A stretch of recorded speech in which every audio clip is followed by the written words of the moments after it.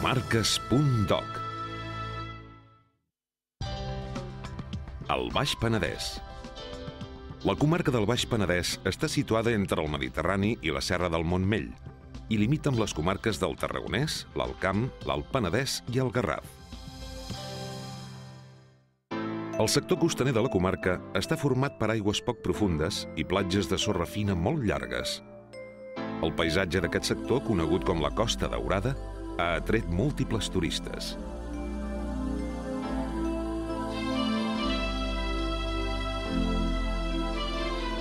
A l'interior, limitant la comarca, destaquen els contraforts de la Serra del Montmell, que és la part més meridional de l'anomenat Bloc de Gaià, on es poden fer diverses excursions molt interessants. La vegetació del Baix Penedès és de caràcter mediterrani, amb pi blanc i bosquina de garric i margalló.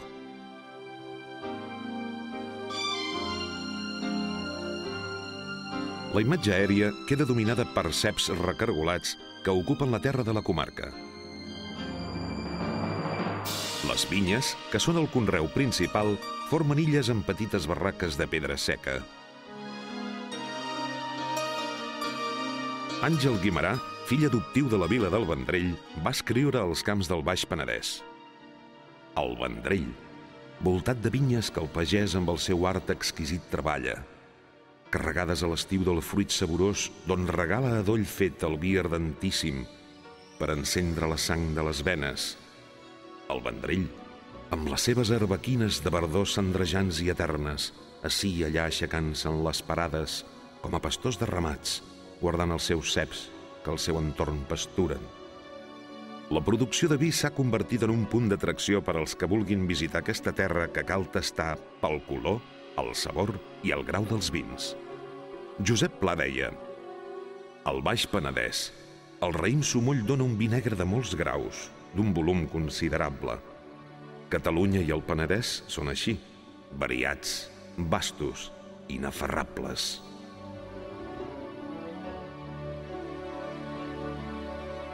Al litoral trobem els passeigs marítims oberts entre hotels i infraestructures turístiques. Gràcies a l'oferta lúdica de què disposa, s'hi poden practicar diverses activitats aquàtiques.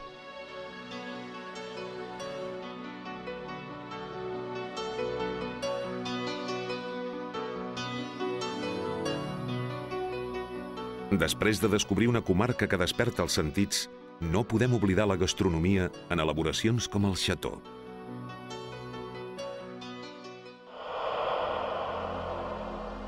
La serra del Montmell, de la serralada prelitoral catalana, la trobem robusta com a taló de fons i accidenta pobles com el del Montmell.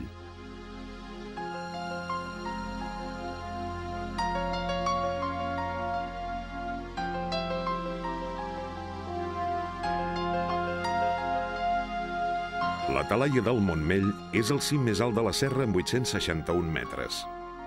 Als peus de la talaia trobem les restes del castell del Montmell, el castell va ser encomanat pels bisbes de Barcelona a la família dels Banyeres durant els segles XII i XIII. Durant la guerra contra Joan II va ser escenari de diversos enfrontaments. Era una antiga fortalesa de la vila i des de la posició que tenia dominava els camps més propers i confins del Penedès, únic poder encara vigent.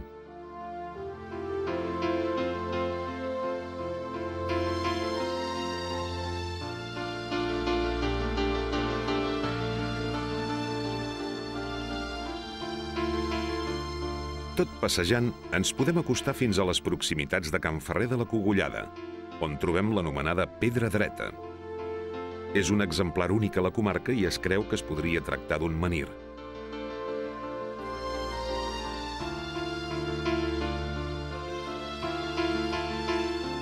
Entre els contraforts de la Serra del Montmell també trobem la caseria de la Vall de Sant Marc, on hi ha el mas i l'església de Sant Marc, d'estil romànic i formada per una sola nau.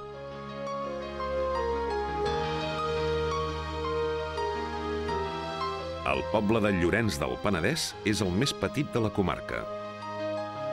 Al cor de la vila trobem l'església parroquial de Sant Llorenç amb façana neoromànica. El campanar és de planta quadrada.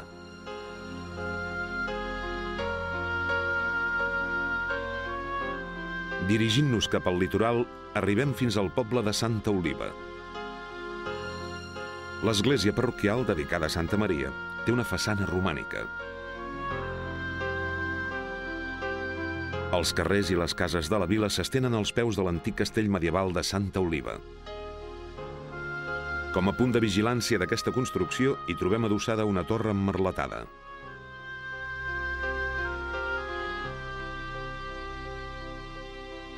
I a dins del recinte es conserva l'antiga església de Sant Julià.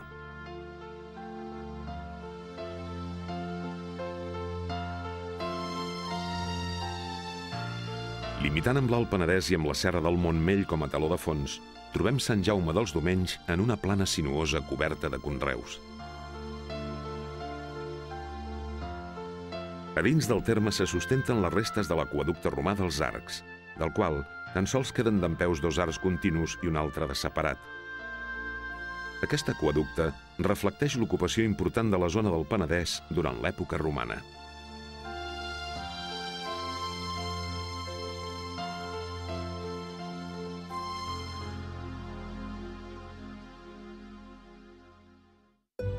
Baixant pel límit amb l'Alt Penedès, arribem fins a la vila de l'Arbós, la vila natal de l'abat de Montserrat, Aureli Maria Escarrer. Caminant pel carrer major del nucli, anem descobrint l'elegància d'edificis i cases senyorials.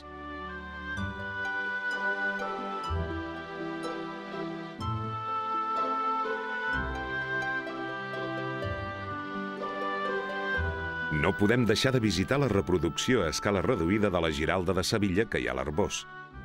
Es va fer construir a principis del segle XX com a lloc de residència per a Joan Roquer i Marí i la seva esposa, Candelària Negrevins.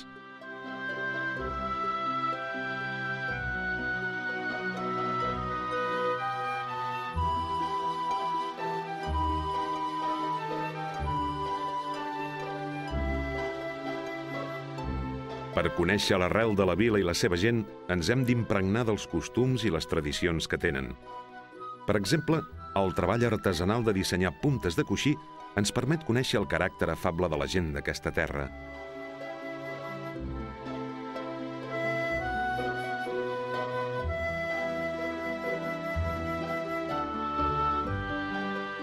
Un altre dels edificis d'interès és l'església parroquial de Sant Julià, documentada al segle X i reconstruïda entre el 1631 i el 1647 sobre un altre d'anterior. És un edifici d'una sola nau, amb capelles laterals entre els contraforts, del qual encara es conserven restes romàniques.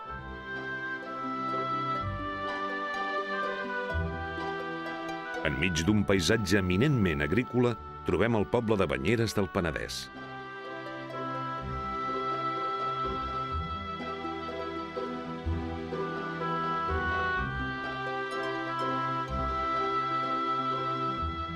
Val la pena fer un tomb pel nucli i arribar fins a la plaça de l'Om i l'església parroquial de Santa Eulàlia.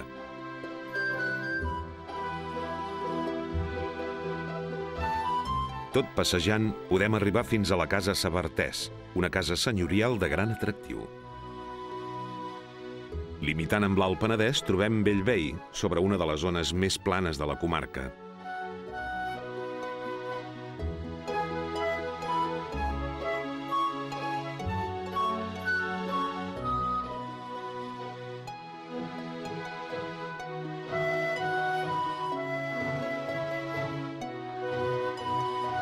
Fent un tomb pels carrers de la vila, arribem fins a l'església parroquial de Santa Maria, d'estil neogòtic i amb una nau central i dues capelles laterals. Als afores, sobre un turó, trobem el castell de la Muga, documentat des del segle XI i reformat posteriorment. Actualment es troba en estat ruïnós.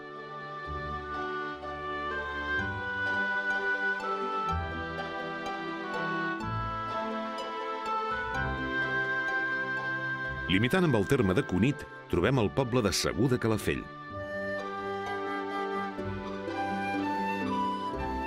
A dins del nucli hi ha l'ermita de Sant Miquel de Segur, documentada l'any 1238. Aquesta construcció és d'estil romànic i gòtic i té una sola nau amb dos absis.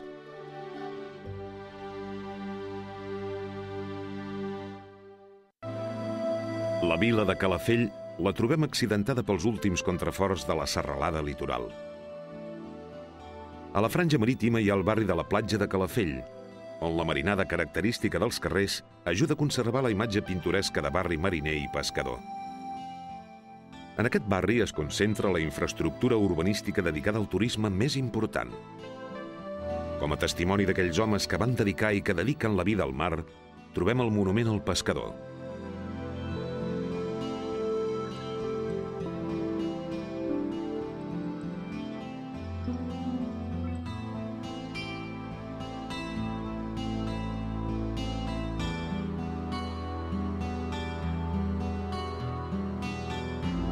Si mirem el passat, fa 2.500 anys, descobrim que la vila va ser habitada pels hiverns. Entre els nuclis de Calafell i Segur es va construir una fortalesa per defensar-se, l'antiga ciutadella ibèrica de Calafell. Les muralles i els carrers d'aquesta ciutadella ens permeten descobrir l'essència del passat dels cossetans. L'arribada dels romans va implicar la fi de la cultura ibèrica i aquest recinte, pel qual podem passejar i descobrir la cultura ibèrica, va quedar com a testimoni d'aquesta època.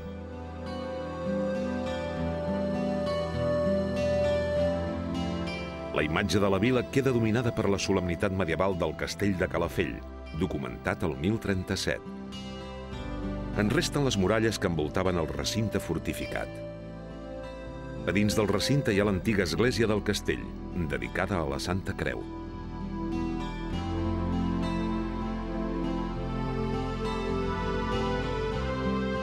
Seguint la costa entrem al poble de Cunit, el primer municipi costaner de les comarques de Tarragona.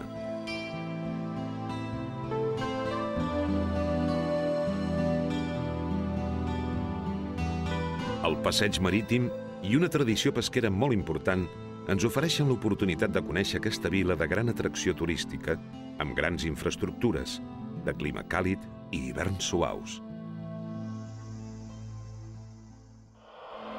La capital de la comarca, la ciutat del Vendrell, Pobilla del Baix Penedès, se situa des del centre de la comarca fins al Mediterrani. Les platges de Sant Salvador, de Comarruga i del Francàs formen el sector litoral del terme municipal del Vendrell, L'any 1987, la Unió Europea els va atorgar la bandera blava per la seva qualitat.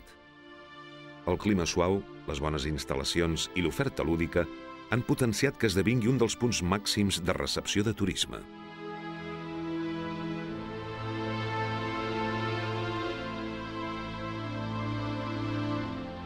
L'aigua salada del mar Mediterrani al costat de les aigües termals del riuet i el llac de Comarruga nega de singularitat aquest indret. Al segle XIX, quan es va començar a desenvolupar un interès pels balnearis, es va descobrir que les aigües de les deus de Comarruga sortien tèbies, entre 18 i 21 graus. A principis del segle XX, l'empresa constructora Brisamar hi va edificar un balneari, actualment tancat, al voltant del qual es va anar desenvolupant el nucli de Comarruga. El Vendrell era una antiga vila emmurallada i el portal del Pardo és l'últim vestigi de la fortificació que envoltava la vila. Entre els edificis més importants hem de destacar l'actual església de Sant Salvador del segle XVIII. És d'estil neoclàssic i té un campanar vuitavat i una portalada d'estil barroc.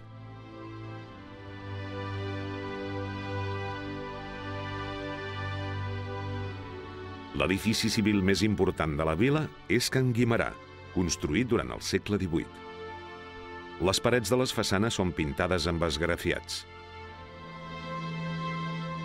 Un altre edifici destacable de la ciutat on se celebren concerts molt importants és l'Auditori Pau Casals, que era fill del Vendrell. Al carrer de Santa Anna hi ha la casa natal de Pau Casals oberta al públic. Com a curiositat, podem esmentar que el primer violoncel que va tenir el músic li va fer el seu pare amb una carbassa. La Biblioteca Popular la va construir l'any 1920 l'arquitecte Puig i Gairal.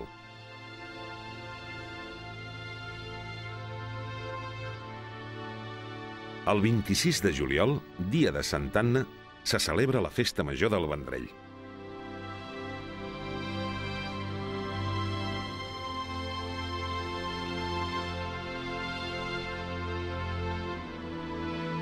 Els gegants i els nans desfilen pels carrers. I el caramot i les seves pusses, el cabrot, la molassa feixuga i el bou de foc, entre d'altres, envaeixen l'aire de la pólvora que cremen recorrent els carrers de la vila.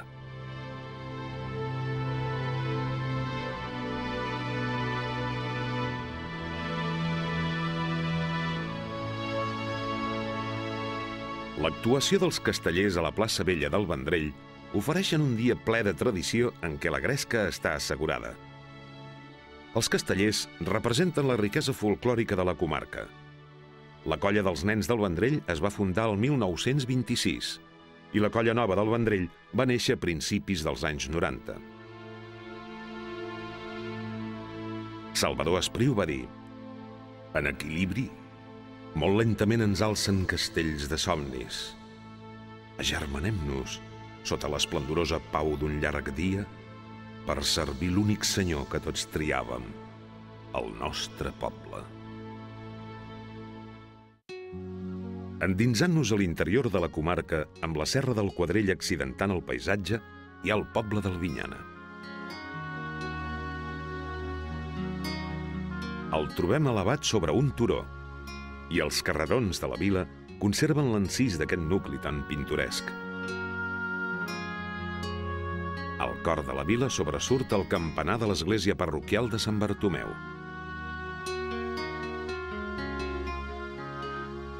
Tot passejant, ens acostem fins a l'ermita de Sant Antoni, al peu de la serra del Quadrell, al vell mig d'un dels paratges més encantadors de la comarca.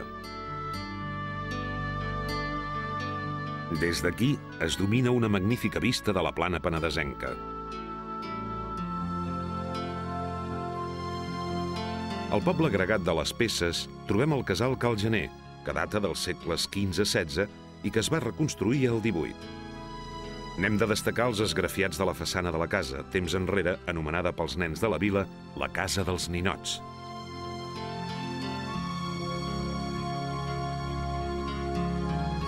En la rodalia hi ha el complex turístic Aqualeon, on podem admirar els animals salvatges que hi viuen.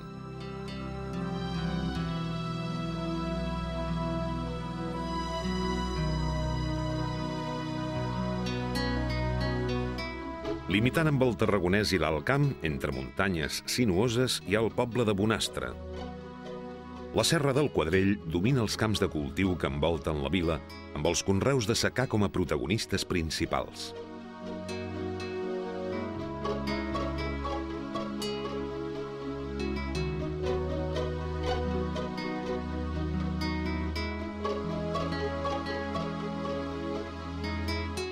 Bonastre presenta un aspecte captivador. A dins del nucli hi ha cases com Can Fontanilles, amb una arquitectura molt particular. Igual que la casa del Delma, amb una façana interessant. Al carrer de la placeta del mig trobem la casa on estiuejava Pau Casals. Amb la serra del Montmell i el torrent del Prat regant a les terres, trobem el poble de la Bisbal del Penedès. Val la pena fer un tomb pel nucli de la vila on va néixer el general Romagosa, que l'any 1822 es va alçar contra la Constitució.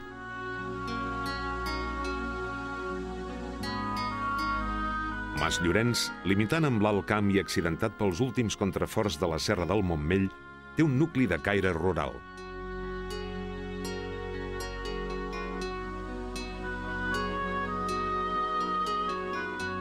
L'any 1702, el bisbe de Barcelona va concedir els permisos de construcció de l'església de Sant Ramon de Penyafort sobre l'antiga capella dedicada a la Mare de Déu del Roser del segle XVI.